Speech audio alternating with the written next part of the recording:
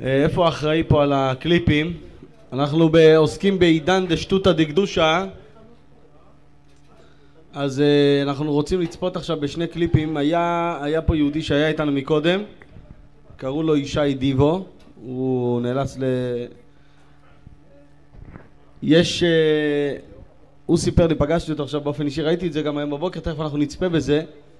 הוא יהודי שמתעסק במוזיקה והוא הלך אה, למקום שנקרא The Voice, זה איזושהי תוכנית בטלוויזיה או באיזשהו מקום אה, שמצרפים אותך לתחרות שירה וזמרה והוא החליט שהסיבה היחידה שהוא הולך לשם זה בשביל להפיץ את בשורת הגאולה. זאת אומרת, הוא לא הולך, לא המטרה שלו להיבחר או משהו כזה, הוא יש לו מטרה אחת, אני הולך לדאוג שהחבר'ה ידברו על הגאולה, ידברו על המשיח. חבר'ה, כשאדם מחליט בשטותא דקדושה ללכת למשהו, הוא מקבל את זה בגדול, וכפי שאנחנו נראה תכף,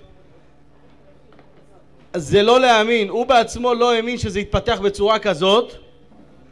הוא מגיע, הוא שר שיר, ופתאום מה שהוא רצה בדיוק, יחי אדוננו, מורנו ורבנו מלך המשיח לעולם ועד, חבר'ה תבואו לראות, לא צריך לדבר, תראו את זה בלייב, איך זה שכשאתה מחליט ללכת על משהו הרב מסדר את כל העניינים. בבקשה.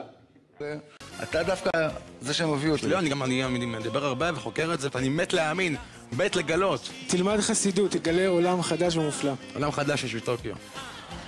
תאמין לי, אני מקנא בך. זה מועדון חברים, איזה מקנא. אביב, אני חייב להגיד לך משהו. תגיד לי הכל, חבר. אני לא מפחד, כי אני יודע מה יהיה. מה יהיה? יהיה גאולה, רבי מלך המשיח יתגלה. אה, נכון. וכולנו, וכולנו נעמוד ונכריז, יחי אדוננו, מורנו ורבנו, מלך המשיח לעולם אתה ועד. לא מבין, אתה לא מבין. יש כאן משחק